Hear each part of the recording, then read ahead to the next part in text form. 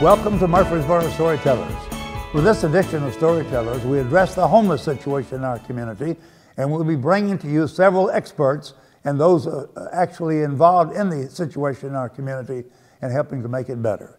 We have, first of all, Dr. Bill Kraus, who is Executive Director of H3 ARC. Correct. Dr. Kraus, welcome to the program. Welcome, and thank you very much. It's a great, great pleasure to be here this afternoon and be talking about a, another aspect of Rutherford County and specifically the city of Murfreesboro. And you're, as Executive Director, what is your role? I am a new, newcomer. I just assumed this position on a part-time basis two right. months ago, and it is to coordinate, implement, and activate uh, much of the objectives and goals of HARC, working with nearly 60 organizations within the community, both uh, public agencies, nonprofit, and uh, faith-based organizations, to address the overall problem of homelessness. Okay. And we do have a, that problem in our community. Well, the problem, as I have discovered, is far greater than the normal perception of it. People usually think of homelessness as basically people living under a bridge or Yes, living in the yes. woods. Homelessness is far more comprehensive. When you talk to the local school districts, there's over 3,000 children in one form or another whose families, in one degree or another, experience homelessness. I recall the story shared with me here recently about a principal in a local school where two brothers, uh, seven and eight years old, came to the principal and said, We're not going to have a home tonight. Can you help us? And uh, people who financially are out, the affordability of housing to a great degree is what contributes to the fact of people not being able to uh, live and find a residence either by purchase or by rent. I understand that we have uh, evidence of uh, families even living in cars or multiple families in homes. Yes, absolutely. And then there's a whole dimension that, uh, again, as I say, I'm in the learning curve of uh, grandparent homelessness. The grandparent whose uh, children are no longer in the scene, and the grandparent has to take over the raising of the children, and finding the cost of housing becomes extraordinarily prohibitive and has some very serious problems. So homelessness is really twofold. One's the emergency, the immediacy. That is somebody who is out in the street, especially with this cold weather, the facilities to take care of them immediately. And the second, and probably the long term, is a transitional. Once you can stabilize the situation, the ability to, quote, work toward a housing uh, correctness for them. Okay. What are some of the things that you, as executive director, can do and are doing to overcome this problem? There's four areas that our executive committee, which is, uh, consists of 14 men and women representing the different uh, agencies, organizations within the community, have pretty well spelled out. It's been a long dream of Murfreesboro and a long dream of city and county governments and a long dream of many of the people committed to build a campus, a one-stop center uh, that treats everything from the immediacy, that is uh, overnight uh, conditions, to the ability to find housing, to employment, to the ability to provide food. So to respond to both the immedi- immediacy as well as take the long-term process for the uh, family.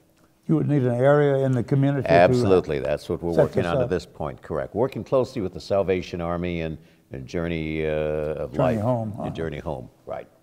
You understand that Journey Home does quite a bit of wonderful work. We'll find out about more about that later in the program. Absolutely, and uh, Scott is one of our key uh, foundations within the program. Okay. Dr. Kraus, define H3 ARC. That that stands, better for me.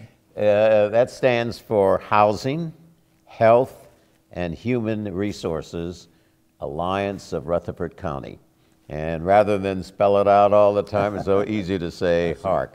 But it basically are the three priorities, and certainly housing still is the number one priority. But you want to be sure that the folks are, uh, have a place to sleep one night and have uh, food and have immediate assistance.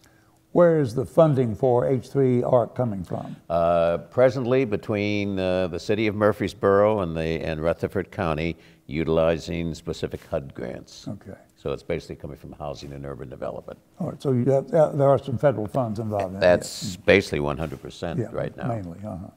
What could uh, a local citizen do to help out with the problem? Are you seeking uh, volunteers, workers? I'm so happy you asked that question. Let me give you, before I answer that, a commentary of Murfreesboro. I've been in many communities over the many years, initially as a city manager for a number of years, uh, both in Southern California as well as Tennessee. And I'm saying this not to be ingratiating, but to say this from a totally an amazing observation. This is one of the most hospitable, open communities of volunteers I have ever experienced. The men and women committed not just to homelessness, the men and women committed to wanting to make their community and its people uh, do well. And the amount of volunteerism that comes through the churches, that comes through the nonprofits that are devoted to different aspects of uh, poor people or aspects of homelessness is second to none. So Murfreesboro deserves a, and Rutherford County deserves a big A plus on what they're doing. But as a result, each of these groups uh, certainly encourage volunteerism. And whether it's through one's church or whether it's through one's nonprofit, uh, we just saw for the first time this last weekend the Cold Patrol. And the Cold Patrol is men and women uh, devoted to making sure that any of the homeless who are living out in the community when the temperature automatically goes 32 degrees or below, they are brought into two shelters and two churches in downtown Murfreesboro so that they're given warmth, given protection. Do you need more churches to provide facilities? Absolutely, absolutely. We never have enough, and uh, the more we have, and it's also becomes a commitment and a passion. It's not just the fact of doing. You suddenly see, you know, we can describe Murfreesboro as a community where you've got downtown and the historical, you've got a community with uh, the medical center, a community with the university, but this is a community that has hundreds of people either living or affected by it, uh, the homeless community. And it's something that, you know, they weren't born that way. They didn't devote themselves to be homeless. And while there's mental illness involved, and while there's uh, alcoholism and drug uh, abuse on some, one of the greatest issues that we are concerned with on homelessness are the veterans. And many of these uh, folks who came back from Iraq and from Afghanistan, uh, literally and going through the VA hospital and VA service, uh, find themselves in need of connection and they ultimately find themselves homeless. So we find the veterans to be a significant objective of attempting to work with. Does the Alvin C. York VA Medical Center uh, work with the homeless veterans particularly? They do. We have a very close relationship with them. Do some of the homeless people be- become that way voluntarily? It's awfully hard to identify. I just had the opportunity from coming back from a two-day regional conference put on by Housing and Urban Yes, Development more about that. in Miami, and uh, they said there really isn't a single cause of homelessness. Mm-hmm. Uh, initially, believe it or not, and this is kind of a strange thing to say, but homelessness initially began in California in 1966 Did not realize. when the governor had uh, said we're going to save a great amount of money and open the doors of the mental institutions and said we have no alternative. We're just going to allow hundreds of 1000s of folks to hit the street. And other governors and other states followed that same precedent and saying well you know it's not a political agenda to care. They didn't have an advocacy and uh, consequently had many folks who had been institutionalized out in the street and from that began the roots of uh, people looking for the uh, homelessness. In my short period of time, I've had the opportunity to walk and visit those encampments that are here in uh, uh, the Murfreesboro area. And I found it extremely interesting to talk to these folks. And there was a commonality that they did not like organization, structure, rules, and regulations. And after visiting with them, what was strange is that they had created their own structure and their own rules and regulations in order to be live, living by each other. Uh, so there really isn't one cause. A lot of it is people who have uh, no longer have a family support, no longer perhaps have a friend friend community. Uh, they're out of work. Although I have to say, a lot of homeless are working, but the problem is the affordability of housing is what drives them uh, to an area. So there are those that are working and, and some looking for jobs. I guess they do not Absolutely, have them. absolutely, absolutely. When the one in encampment I uh, visited, a goodly number of them actually were working, but they said we just cannot even afford uh, the most minimal house or apartment. Anybody interested, wh- where should they go? Or How should they get in touch with you and others that are working on the problem? Uh, I would probably say, since he's going to be on your program, I'd probably say I couldn't think of two better people Okay. than Journey Home All right. and uh, Greenhouse Ministries Okay. with uh, Cliff. I can see those would be the two primary. But on the other hand, uh, anyone who may have a relationship with the church, great place to go. Uh, um, I would be happy to give my phone number, All if that's okay. Six- Sure. 615 310 5173. Again, that's 615 310 5173. Dr. Kraus, thank you so much for joining. Oh, it was totally my pleasure, and keep up the great work. As we address the homeless problem, we're pleased to have had Dr. Bill Kraus, who is Executive Director of H3 ARC. Now we're pleased to have Scott Foster, who is Executive Director of Journey Home, and Kim Snell for the Rutherford County Schools, where she is in charge of the Atlas Liaison for Students. Welcome to Murfreesboro Storyteller. Thank Good to you. be here. An interesting issue to discuss, uh, your work with, with, with the community. Uh, Kim, tell us about Atlas. Uh, How does, how does that name come about and what, what actually is it? Okay, Atlas is the program with Rutherford County Schools for families in transition or students who lack a fixed, regular, and adequate nighttime residence. It was actually, it's an acronym for Academic Time Leads to Achieving Students, which just references the fact that we're eliminating barriers to the attendance and enrollment of homeless children in our schools.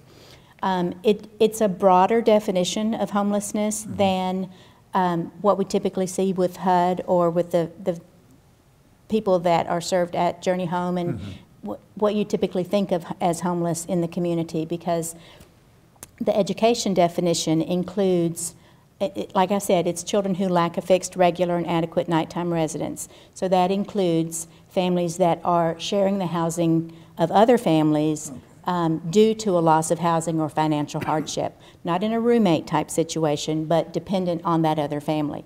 It also includes children who are living in motels, um, campgrounds, of course, Cars. cars, emergency shelters, um, all of those typical Okay. scenarios that we think of. What would be the total number? Have any idea? Sure, we had 1,250 last year in Rutherford County Schools. 1,250. Yes. And the city school also has a program, I I presume. City Schools has, um, they just call it McKinney-Vento students. Okay. And I think they had two to 300 last year. I'm not sure of their number. Scott, tell us about Journey Home. We, we, we pass by there from time to time and see a lot of folks uh, waiting to be able to be fed, I presume. Sure. Um, the Journey Home is a, a Christian outreach center uh, where the community comes together to take care of those who are struggling with homelessness or, or other poverty-related issues. Um, the, the philosophy behind what we do is to use day-to-day uh, resources to build relationships with folks. Uh, and in those relationships, we can um, understand better their situation because everybody's situation is very different. Uh, and also um, help them put together uh, some plans and goals and, and uh, steps that, that they want to take to move in a different direction. So we do things like provide hot meals and food staples, a place to wash your clothes. Um, you know, a lot of times we take for granted things that we have in our homes that those who are, are homeless or unstably housed really lack. Um, it's a place to get your mail. You know, it's hard to get your mail if you don't have an address I guess that's right. um, a place to take a shower. One of the things that, that we found that's a common thread uh, with the folks that we serve, and we do serve a lot of the chronically uh, homeless in our community, um, is that many times when, when all these issues come together, they become overwhelming to the point that people begin to um, lose their sense of self-worth, their sense of value.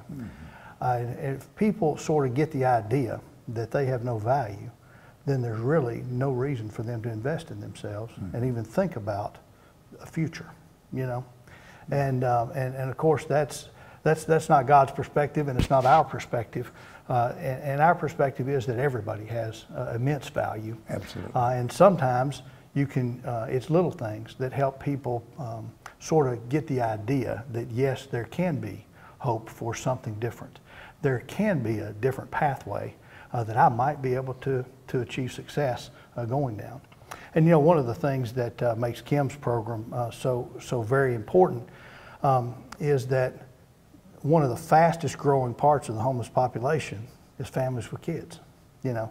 Uh, outside of our center, uh, over on West Castle Street, we have um, about, I don't know, 20 or 25 uh, homes and apartments that we, we house people in our community as we're working with them, kind of getting their feet back under them and setting forth in a new direction. And, um, you know, most of those are families with children. Uh, nationally, and we find also locally, uh, that really uh, almost half, really a little over 40% of our homeless population today is families with children. I see. Uh, very, very different than it would have been a generation or two ago. Um, and uh, there are a lot of different reasons that that's occurred. But uh, one of the, you know, one of the big things in our community uh, is just a lack of affordable housing. Uh, we've had such a tremendous amount of growth. We're blessed in that way economically with a lot of opportunities. Our university, of course, draws a lot of people. Our businesses, uh, you know, there, there's just a lot of great things going on in our community. Uh, but one of the things that uh, it sort of kind of snuck up on us as you have so much growth in such a short period of time, uh, you don't have some of the normal housing cycles that create affordable housing. So we tend to build what our, con- we're, we're a very consumer driven, um, you know, housing industry here. Uh, and so we're building a whole lot of, of nice uh, single family homes. We're building a whole lot of very nice, high end, large multifamily complexes. Right. We're not building anything in the middle. And that tends to have been historically, uh, say ever since World War II and, and on, uh, that tends to be where our affordable housing comes from as it cycles, as, as it ages.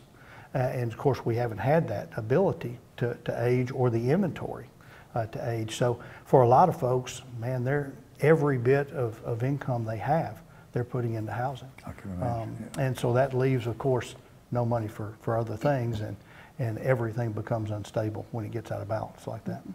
You mentioned a Christian outreach being Journey Home. Was this started by a church or a number of churches in the community? How did it come about? Well, um, yes and no. Um, it, it actually uh, was a call that, um, that I felt God put on my life November 6, 1982. I was a high school student just outside of Memphis. I was born and raised in, in the Memphis area. I was at a, a, uh, a youth camp. Uh, I grew up in the Presbyterian Church, and, and uh, it's a connectional church, so we had all of our district's youth were at a camp, and, and we had uh, uh, teaching and worship, and, and, uh, and I had an experience that night that, that led me to this, although it was really just a planting of a seed. So I tell people all the time if you believe that God's planting a seed in you, it might take a while for that seed to germinate and, the, and the, the circumstance to, to really come together. Uh, it was 22 years later for me uh, that, that what uh, is now the journey home sort of started back in 2004. Uh, I, I went on to you know school and, and in the business world for, for many years and, and came under conviction in 2004 that now was the time and I was now in the place uh, to, to kind of do this.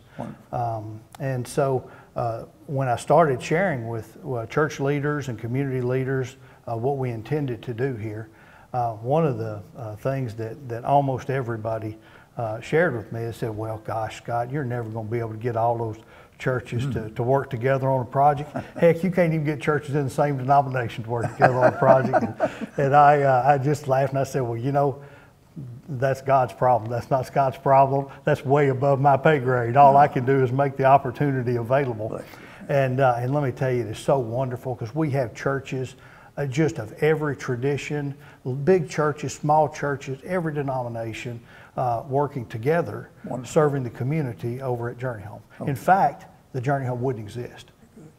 Kim, give us a little bit more information about your background, uh, how you got to where you are now with the Rutherford County Schools. Well, I was a school counselor um, for a number of years, and we moved to Murfreesboro in 2000, and I was a counselor at Smyrna Primary School. In 2001, um, McKinney-Vento, the federal law that governs nearly all homeless programs in the United States, was reauthorized under the No Child Left Behind Act. Okay. And at that time, it was mandated that every school system must have a liaison for homeless education. So uh, before that, it had been at the state level, and very little was being identified, or very few homeless children were being identified in many places, in most school districts. Only really in the large school districts that had a lot of shelters, like in Nashville and Memphis and um, other places around the country. So I was the counselor at Smyrna Primary School at that time. And um, our district uh, decided that every school needed to have a contact for homeless education. I became that contact. And then when um, the person who was serving in the role of homeless liaison or Atlas liaison uh, moved into a different position, the job came open, and um, I had attended the conference the previous year of the National Association for the Education of Homeless Children and Youth. And um, so I was one of the people in the district that had a little bit more experience okay. than anybody else. And um, so I interviewed for the position, and um, it really has, has turned into a, a calling um, as well. I think it's hard to work with these families and not really feel their pain and their um, frustration with, with the way things are working.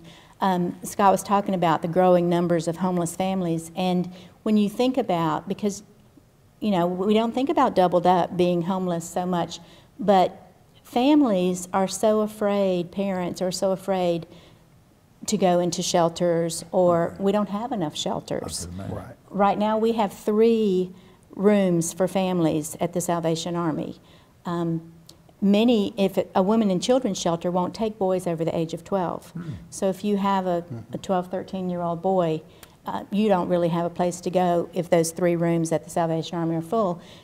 They don't, they don't want to live in the motels because, you know, we know what, I mean, they do, many of them do because they have no other choice. But um, so they, they try to stay with somebody else. And frequently those are highly unstable situations. They move from place to place. They're not always with a loving pair of grandparents who have, you know, three extra bedrooms. Sure. What we when see. When you say doubled up, is that when two families are together? Or? It is when one family moves in with another with family another family. Uh -huh. because of a loss of housing. Okay. Um, and frequently what we see is those children are walking on eggshells, trying not to make somebody mad so that they all get kicked out of their home. Or they are staying in a place where the adults are up until all hours of the morning, and the child may be sleeping on the couch or on the floor in the kitchen.